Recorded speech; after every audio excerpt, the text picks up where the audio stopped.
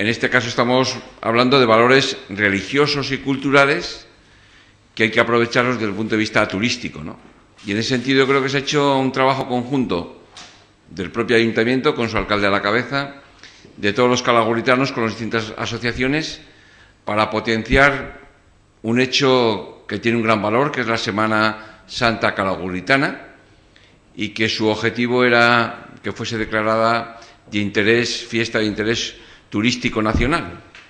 Bueno, pues eso es un hecho que se ha conseguido y en breves días estará publicado en el Boletín Oficial del Estado, pero está firmado ya por el Ministerio, por la Secretaría de Estado de Turismo, y por tanto hoy podemos anunciar que Calahorra tiene un atractivo más, un elemento más para su promoción, para eh, conseguir que sea también un elemento de atractivo para ciudadanos de dentro, fuera de La Rioja y fuera de España. ¿no?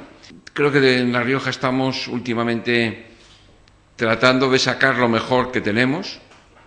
Creo que Calahorra hoy es un ejemplo para otros municipios de La Rioja. Otros también han conseguido, recuerdo últimamente Briones y otros municipios donde los tesoros que a veces están guardados y que de alguna forma los contemplamos nosotros solos, tenemos que sacar de ellos lo mejor para proyectarlos y sacarle el máximo rendimiento, entre comillas, desde el punto de vista económico, desde el punto de vista turístico, pero sobre todo para compartir, compartir los valores culturales, patrimoniales, nuestras tradiciones, nuestra historia, nuestras costumbres, que son también un elemento a difundir y a potenciar.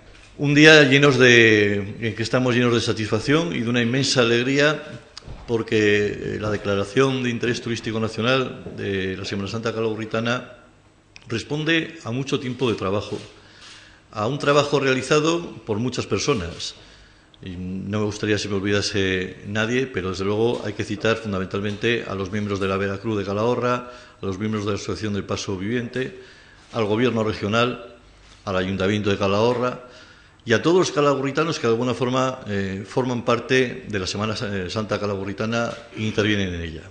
En definitiva, yo quiero significar que para Calahorra hoy yo creo que es un día histórico. Y es un día histórico porque es una ocasión en la que por primera vez una eh, ciudad de La Rioja tiene su Semana Santa declarada de interés turístico nacional. Y esa ciudad es Calahorra. Estoy convencido que esta declaración y que este interés que tiene para nosotros se verá luego reflejado en un impulso para que tanto las asociaciones como todos los calagurritanos, como el Gobierno del Ayuntamiento, sigamos impulsando el funcionamiento de esta Semana Santa y haciéndola más grande si cabe.